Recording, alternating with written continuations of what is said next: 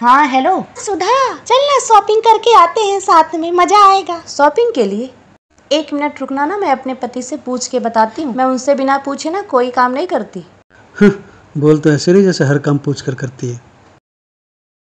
सुनो आज मैं अपनी सहेलियों के साथ शॉपिंग पे जा रही हूँ। आज रात का खाना बना लेना। टीवी मत देखते रह जाना बैठ के। ठीक है उन्होंने परमिशन दे दी। कहा है अपना ध्यान रखना और जल्दी आ जाना बस।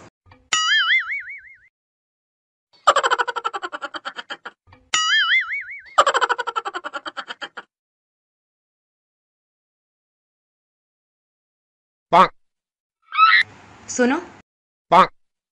मुझे दो हज़ार रुपए दो ना। एक मजबूर बेसहारा गरीब औरत की मदद करनी है। मैं सोच रही हूँ उसे एक साड़ी खरीद के दे दूँ। उसका पति उस पर बिल्कुल भी ध्यान नहीं देता है।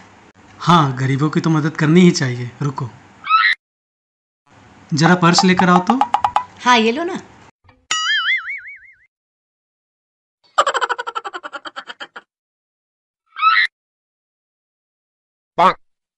ये लो।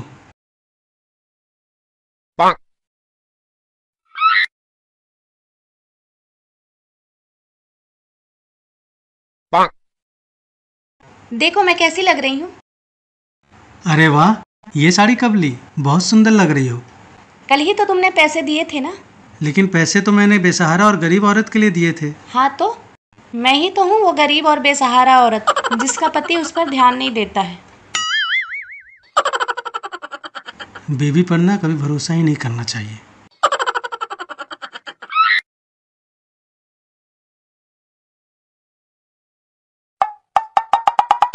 देखो मैं कैसी लग रही हूँ।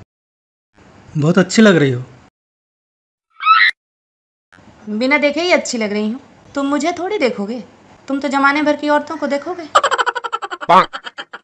नहीं बिल्कुल अच्छी नहीं लग रही हो। हाँ तो तुम्हें मैं क्यों अच्छी लगूं? तुम्हें तो जमाने भर की औरतें अच्छी लगेंगी।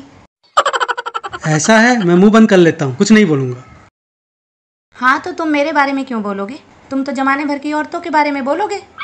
हाँ करो तो प्रॉब्लम, ना करो तो प्रॉब्लम, कुछ मत बोलो तो प्रॉब्लम सही कहा गया है, औरतों को बोलने से तो भगवान भी नहीं रोक सकता